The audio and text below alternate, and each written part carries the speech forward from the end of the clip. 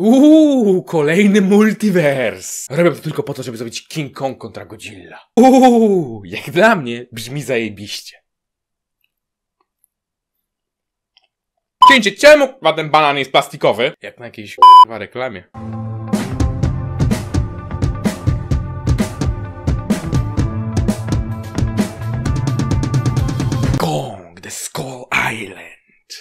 Wyspa Czaszki. To nowy film o wielkiej małpie z brawurową obsadą. John Goodman, Samuel L. Jackson, Brie Larson, Tom Hiddleston, a w reżyserii Jordan Vogt Roberts.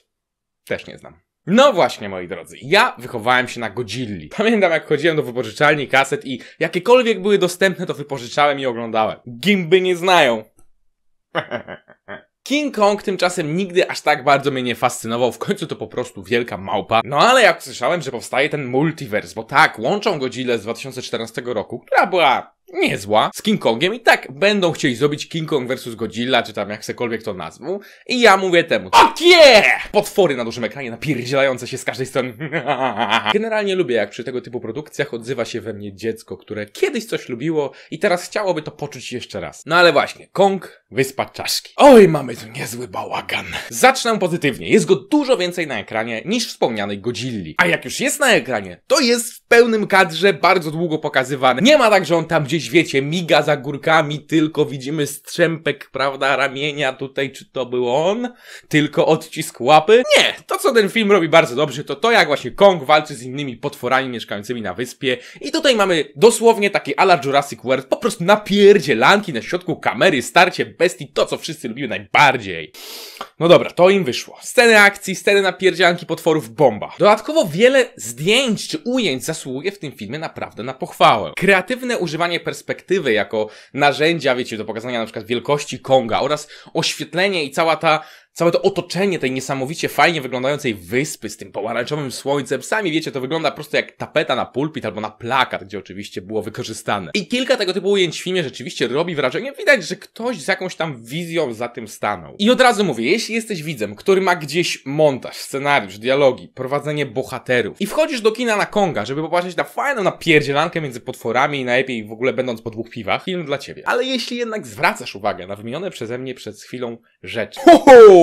Houston, mamy problem. Nasi bohaterowie, wszyscy świetni aktorzy, są po prostu tak płascy w tym filmie, że byłem aż zaskoczony. Nikt w trakcie filmu nie przechodzi najprostszej przemiany. Ciężko nam w ogóle się odnieść do tych bohaterów. Próby wymuszenia jakiejkolwiek relacji między nami a nimi są takie po prostu na siłę. No bo jeden żołnierz pisał list do małego synka, więc przez cały film jest to wspominane 10 razy, żebyśmy cokolwiek czuli, jakim się coś dzieje. A każdego bohatera w filmie można po prostu opisać taką prostą formułką. Samuel L. Jackson, zacietrzewiony tryb wojskowy. Nic się w nim nie zmienia przez cały film. Tom Hiddleston, tropiciel, były żołnierz. Koniec. I tak mógłbym wymienić o każdym z bohaterów. Nie ma tu żadnych interesujących dialogów. Za żadnym z nich nie stoi jakaś historia, która naprawdę by nas ruszyła, jakaś przemiana w trakcie filmu. Nic. Wiecie co? Nawet jak pierwszy raz pokazali się na ekranie Tom Hiddleston i Brie Larson, gdzie ona jest pacyfistką, a on byłym wojskowym, od razu widać, że to jest ta przyszła para w filmie. No i moja pierwsza myśl była taka, no oczywiście będzie to typowy kliszej związek. Najpierw się kłócą, bo wiadomo, przeciwstawne poglądy, potem się uratują wzajemnie, tam on ją wyciągnie, jak drzewo będzie upadać i przytuli potem ona mu się odwdzięczy, jego uratuje przed czymś, na koniec jeszcze wyjaśnią sobie swoje poglądy, się zrozumieją, a wiecie, może się skończy buzi buzi, może rączka za rączkę i prawda, piękny widok na King Konga w tle. Koniec. Nawet tego nie było. Nawet tego. Nie mówię, że coś w zamian, że wymyślili coś lepszego.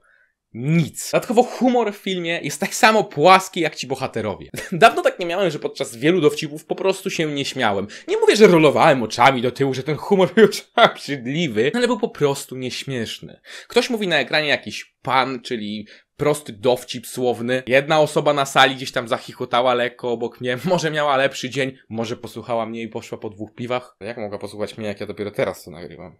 Jest jedno logiczne wyjaśnienie. Podróż w czasie istnieje nieśmieszne. I tak przez cały film. No i nie dość, że większość humoru nie siada, to mogę tutaj płynnie przejść do innego problemu. Ten film tonalnie to jest po prostu bałagan. Co to znaczy, zapytacie? To znaczy, że w jakiejś scenie na przykład reżyser buduje ton dramatyczny. Jest pokazane, jak King Kong rozwala helikoptery, ludzie tam umierają, krzyczą, często kamera jest gdzieś tam z ich perspektywy, gdzie to wszystko wydaje się jak taki typowy film horror z jakimś potworem, nie wiem, Obcy 17. I nagle w trakcie tego, jak ktoś tam dosłownie metr za kamerą krzyczy, że umiera, jest jakieś ujęcie na coś śmiesznego i ja jako widz, ja nie wiem, czy ja mam teraz się śmiać, czy, czy, czy, czy to dramat, czy komedia, czy, czy, czy o co chodzi. I oczywiście są wielcy twórcy filmowi, którzy potrafią łamać konwencje, tak miksować tony, żeby szarpać widzem na dwie strony, żeby to było jakieś ściągające, ale nie tutaj. Tutaj po prostu te zmiany tonów były fatalne. To bardziej wyglądało jakby twórcy nie wiedzieli, czy, czy chcą być tutaj właśnie tacy bardziej straszni, czy może jednak haha, troszkę komedia, bo wiecie, film familijny o Kongu.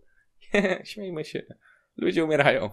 Dodatkowo montaż w paru scenach to po prostu amatorka. W filmach tego typu, z takim budżetem, aktorami i tak dalej, nie powinienem w ogóle zwrócić uwagi na takie rzeczy. Tymczasem mamy sekwencję scen, gdzie coś się dzieje w czasie rzeczywistym, tak jakby scena za sceną, nagle jest coś minutę później i nagle znowu jest czas rzeczywisty. To są takie błędy, które nie powinny wyjść po prostu z postprodukcji. No dobra, mamy trochę błędów montażowych, tonalnych, fatalnych bohaterów, co ze scenariuszem. Niestety taki sam. Dzień później dialogów nie pamiętam praktycznie wcale, a jeśli chodzi o wszystkie wydarzenia na ekranie, to dzieją się tak, bo pan scenarzysta sobie tak zażyczył. Nie dlatego, że coś by logicznie z czegoś wynikało, czy miało jakiś sens, czy było kreatywne, tylko po prostu trzeba było jakoś tam posunąć fabułę do przodu. Typowym plot device'em są tak zwane zbiegi okoliczności. Jak choćby ten dla tych, co tam widzieli albo kiedyś zobaczą, gdy potwór wypluwa nieśmiertelnik jednego z bohaterów. No i oczywiście coś, czego nienawidzę w filmach typu horrory i mówiłem to nieraz na przykład przy analizie trailerów do nowego Obcego. Po prostu nienawidzę, jak jest film Człowiek kontra coś i ludzie zachowują się jak debile. No bo jak ja mam się utożsamić z człowiekiem, który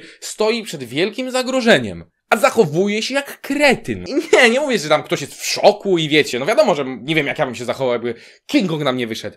No ale kuźwa, jest w tym filmie taka scena, która po prostu pięć zaciska. Wiecie co, opowiem dla tych, co widzieli albo mają gdzieś po prostu, natomiast napis spoiler na ekranie, dopóki jest, wyciszamy ci, co jeszcze chcą obejrzeć Konga. To nie jest jakiś duży spoiler, to nawet na trailerach widać. Chodzi mi o scenę, jak pierwszy raz helikoptery wlatują na wyspę i widzą Konga na środku. Wielka małpa, what the fuck i tak dalej. Leciało tam z 20 helikopterów, otwierają do niego ogień, on tam, prawda, wiecie, zasłania się sekundę, po czym pach jednego, pach drugiego, drzewem w trzeci helikopter, te helikoptery spadają, wszyscy w szoku. No przepraszam bardzo, ale moim zdaniem w takiej sytuacji trzy helikoptery powiedzmy już tam spadają, ktoś krzyczy o pomoc, widzimy jak koledzy giną. Te 17 spadala natychmiast. Nawet jeśli za chwilę mają przeprowadzić jakiś kontratak, kurczę, razem, bo dowódca każe, to wojskowi piloci, najpierw spieprzają na bezpieczną odległość. No nikt nie będzie latał obok cholernej małpy, co próbuje je zniszczyć. Tymczasem w tym filmie te wszystkie helikoptery, co do jednego, wlatują albo przelatują obok Konga dosłownie na wyciągnięcie łapy. Nie. Po prostu nie. No ale oczywiście, gdyby to się nie wydarzyło, to nie byłoby filmu, bo natychmiast ktoś by się wydostał, wezwał pomoc i koniec. Podsumowując, film w momentach akcji, potwór kontra potwór i tym podobne, bardzo fajny, miło się to ogląda, wszyscy lubimy taką sieczkę, ale niestety, jeśli chodzi o bohaterów, montaż, dialogi, no po prostu płasko, fatalnie. Kong Skull Island, czyli Wyspa Czaszki, dostaje ode mnie średnie 5 na 10. No bo film da się obejrzeć. Bah, niektórym to się może nawet bardzo spodobać, jak nie zwracacie uwagi na takie rzeczy jak ja. Chcecie tylko dobrą zabawę na dużym ekranie, w zasadzie trochę akcji, trochę tego, tam walić dialogi i scenariusz. No i to jest przesłanie dzisiejszego kina. Walić dialogi i logikę. Mamy CGI. Ale żeby nie było, na Godzilla kontra King Kong oczywiście czekam, bo no mówię, czekam aż się we mnie dzieciństwo znowu odezwie. Także dzięki bardzo za uwagę, zostawcie komentarz, jeśli film widzieliście lub nie. I do zobaczenia w kolejnym, po narzekaniu w filmach.